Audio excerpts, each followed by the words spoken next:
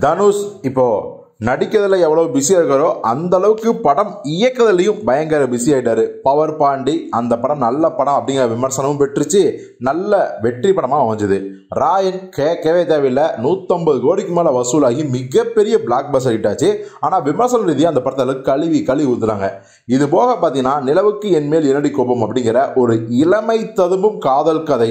இன்னும் சொல்ல போனால் துள்ளுவதோ இளமை எப்படி செல்வகனுக்கு இருந்துச்சோ அதே மாதிரியான ஒரு படத்தை இயக்கியிருக்கிறார் நம்ம தனுஷர்கள் இது இருக்குது. இப்போ நம்ம எல்லாரும் ஆச்சரியப்படுற மாதிரி இட்லி கடை அப்படிங்கிற படத்தை வந்து டைரக்ஷன் பண்ணிருக்காரு தேனியில் தான் அந்த படத்தோட ஷூட்டிங் போயிட்டு இருக்கு அருண் விஜய் மிக முக்கியமான கேரக்டர் இருக்காரு நித்யாமன் கூட சேர்ந்துட்டு இருக்காரு. இந்த மாதிரியான விஷயம் ஏற்கனவே சொல்லிட்டோம். இப்போ இட்லி கடை அப்படிங்கிற அந்த டைட்டிலும் சரி அந்த ஃபர்ஸ்ட் லுக் போஸ்டரும் சரி நமக்கு என்ன ஒரு பிம்பத்தை ஏற்படுத்துச்சு அப்படின்னா இதுவும் பார்த்தீங்கன்னா ராயன் படம் மாதிரியான ஒரு அதிரி புதிரி ஆக்ஷன் கதையாக இருக்கும் அப்படி தான் நினச்சோம். ஏன்னா ராயன் படம் வந்து ஃபாஸ்ட் ஃபுட்டு கடை அப்புறம் வந்து பார்த்தீங்கன்னா அங்கே நடக்கிற பிரச்சனைகள் அண்ணன் தம்பி பகை பழிவாங்கல் துரோகம் இதெல்லாம் போயிட்டு இருந்துச்சு.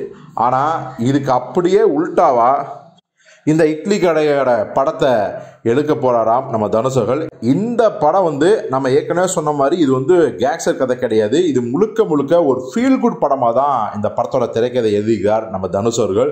ஆக்சுவலி பார்த்தீங்கன்னா அவர் ரெண்டு படங்கள் மாதிரி இந்த படம் மிகப்பெரிய ஹிட் ஆகணும் எல்லோருக்கும் பிடிச்ச படமாக இருக்கணும் அப்படிங்கிறது தான் அவருடைய நோக்கமாக இருக்கான். ஸோ இதனாலேயே தன்னுடைய இரண்டு படங்களையே திரும்ப திரும்ப போட்டு பார்த்து கிட்டத்தட்ட அந்த ஃப்ளேவர்லாம் இந்த படத்தில் இருக்கணும்னு முடிவு பண்ணி இந்த படத்தோட திரைக்கதை எழுதி இப்போ இயக்கம் பண்ணிட்டு இருக்காரு. சரி அப்படி என்ன ரெண்டு படங்கள் அப்படின்னா தனுஷுக்கு வந்து இந்த ஆரம்ப காலகட்டத்தில் துள்ளுவதன்மை காதல் கொண்டேன் திருடா திருடி இந்த காலகட்டத்தில் வந்து பெண்கள் வந்து அவர் படத்துக்கு போக மாட்டாங்க. அவர் மேலே வந்து ஒரு வேறு மாதிரியான ஒரு இமேஜ் இருந்துச்சு.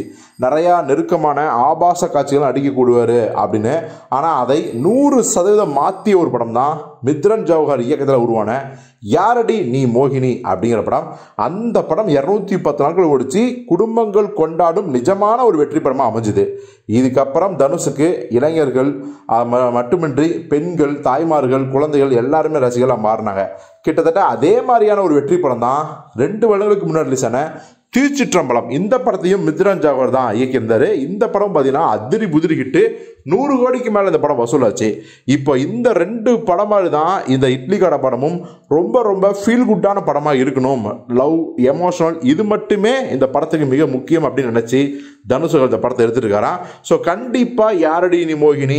திருச்சிற்றம்பலம் வரிசையில் இந்த இட்லி கடை படமும் தாராளமாக அமையும் அப்படின்னு நம்ம உறுதியாக நம்பலாம். எல்லாத்துக்கும் மேலே அருண் விஜய் நடிக்கிறதால கண்டிப்பாக பர்ஃபார்மன்ஸுக்கு பஞ்சமே இருக்காது. நித்யா மேனன் தனுஷ் அருண் விஜய் மூணு பேரும் நடிப்பில் போட்டி போகிற அளவுக்கு இந்த படம் இருக்கும் அப்படின்னு தான் சொல்கிறாங்க ஸோ யாரெல்லாம் இந்த இட்லி கடை படத்துக்காக ஆர்வமாக காத்திருக்கீங்க அப்படிங்கிறத கமெண்ட்டில் சொல்லுங்கள்